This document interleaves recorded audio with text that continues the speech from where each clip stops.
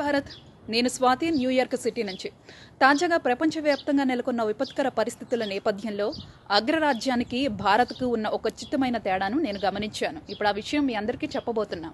Yes India జనాభా నూట ముప్పై కోట్లు అమెరికా జనాభా ముప్పై ఐదు కోట్లు. వైశాల్యంలో మన దేశం కంటే ఎంతో పెద్దది అమెరికా. బాగా ధనవంతులున్న దేశం. అమెరికాలో కాస్ట్ ఆఫ్ లివింగ్ కూడా చాలా ఎక్కువ. ఎంత ఎక్కువ అంటే అమెరికాలో ఓ మనిషి నెల రోజులు బతకడానికి పెట్టే ఖర్చుతో ఇండియాలో ఐదుగురు ఉండే రెండు కుటుంబాలు బతుకుతాయి. విశాలమైన ఇల్లు ఇంటింటికి మధ్య దూరం కూడా చాలా ఎక్కువ.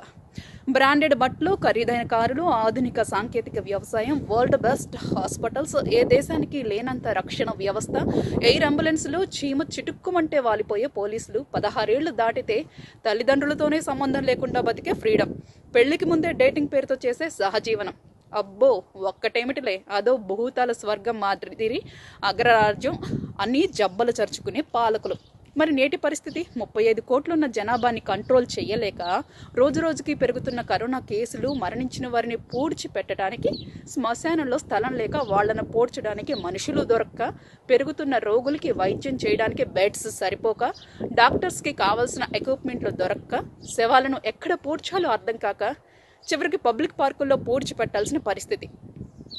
మరి ఇండియా పరిస్థితి ప్రత్యేకంగా చెప్పాల్సిన పని లేదు కానీ ఖచ్చితంగా చెప్పుకోవాల్సింది మాత్రం చాలా ఉంది.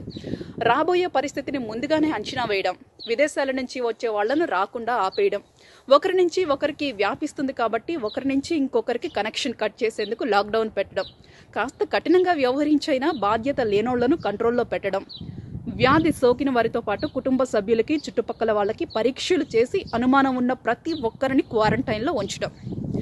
ఇతర దేశాల వారితో పోలిస్తే నూట ముప్పై ఐదు కోట్ల జనాభా ఉన్న ఇండియాలో ఇప్పటి వరకు మరణించిన వాళ్ళ సంఖ్య చాలా తక్కువే. అమెరికా లండన్ ఇటలీ స్పెయిన్ లాంటి దేశాలతో పోలిస్తే మన దేశం ఎన్నో వేల రెట్లు నయం. అందుకే ఈరోజు ప్రపంచం మొత్తం ఆశ్చర్యంగా భారత వైపే చూస్తోంది.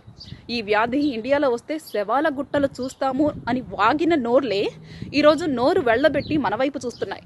అంతేకాక ఈరోజు మన మందుల కోసం ముప్పై దేశాలు క్యూలో వెయిట్ చేస్తున్నాయి. ఇది మనకు తెలియని మన దేశ గొప్పతనం. మేరా భారత్ మహాన్. Signing off Swathi. ఏంటండి? వీడియో నచ్చిందా? అయితే ఓ లైక్ వేసుకోండి. లేదంటే ఓ కామెంట్ చేయండి. ఎప్పటికప్పుడు మా వీడియోస్ చూడాలంటే సబ్స్క్రైబ్ చేసుకోండి.